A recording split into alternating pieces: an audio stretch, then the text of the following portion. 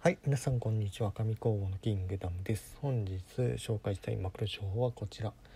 今月発売のフィギュア王ナンバー314では、えっと、30周年のマクロス7が表紙となってますと。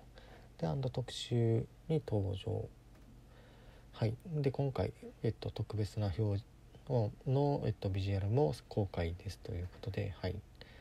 で、さらにハイメタル R の情報もありますよということで、えっと、本日の3月25日より公開予定ですので、えっと、チェックしてくださいと。で、えっと、スペシャルインタビューで三木本さんとか川森監督とか福山さんですね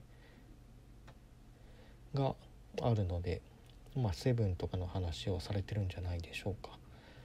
ということで、えっと、セブンファンにとってはいい一品かもしれないので是非ともご購入を検討してみてください。でもしかしてあのあれですね。タイニーセッションとかももしかしたらバサラのタイニーセッション出ると思うんですけどそれの情報情報じゃないですけど書いてたりするかもしれません。はい。という感じで今回は、えっと、セブンが表紙のフィギュアをのご紹介でした。よければ手に取ってご覧になってくださいという感じで今回は以上とさせていただきます。よければチャンネル登録高評価よろしくお願いいたします。ではまた次のマクロス情報のでお会いいたしましょう。